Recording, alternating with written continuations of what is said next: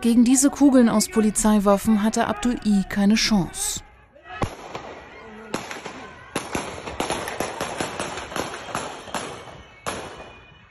Dramatische Szenen in einem Wohngebiet in Groß-Gerau in Hessen. Zwei Polizeibeamte versuchen, einen aggressiven Messermann in Schach zu halten. Plötzlich fallen mehr als neun Schüsse.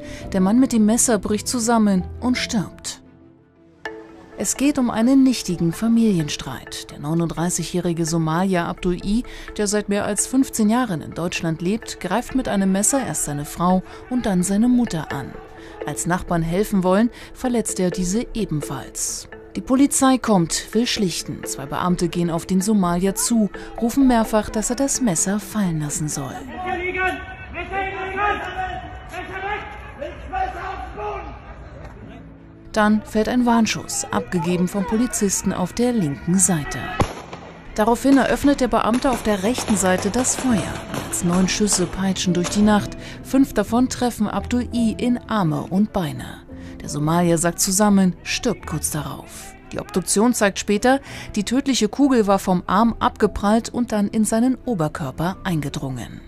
Jetzt muss geklärt werden, ob die Beamten richtig gehandelt haben. Müssen sie eine Gefahr für sich oder andere abwehren, läuft es meist auf Notwehr oder Nothilfe hinaus. In dem Fall würden sie nicht bestraft werden. Hätten sie die Situation auch ohne Schusswaffengebrauch unter Kontrolle bringen können, stände bei tödlichem Schusswaffengebrauch potenziell ein Tötungsdelikt im Raum.